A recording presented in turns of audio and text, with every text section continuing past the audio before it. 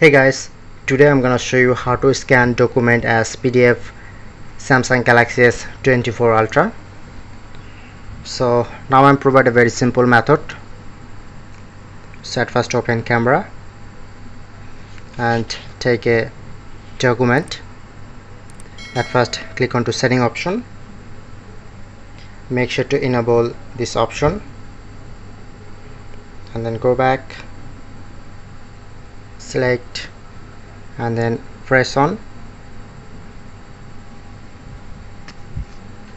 to scan. Select area.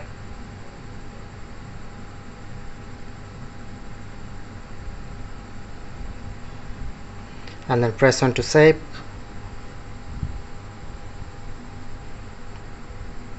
Okay. Select an image click on to three dot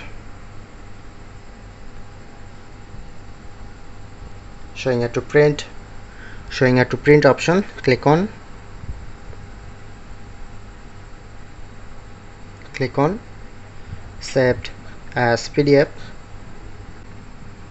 click on select uh, select a folder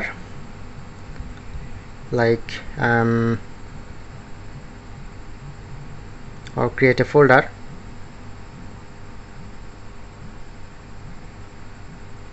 And then press on to save.